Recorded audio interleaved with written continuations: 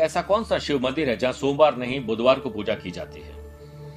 बुद्धेश्वर महादेव मंदिर की स्थापना भगवान श्री राम के छोटे भाई लक्ष्मण ने की थी। सोमवार का दिन भगवान भोलेनाथ का दिन माना जाता है। भगवान राम के आदेश पर लक्ष्मण माता सीता को वन से छोड़ने जा रहे थे।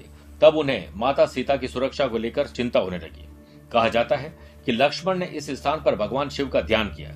इसके बाद भगवान भोलेनाथ प्रकट होकर लक्ष्मण को दर्शन दिए और माता सीता को माता सीता के विराट स्वरूप का दर्शन कराया। जिस दिन भगवान शिव ने लक्ष्मण को दर्शन दिए थे, उस दिन बुधवार था।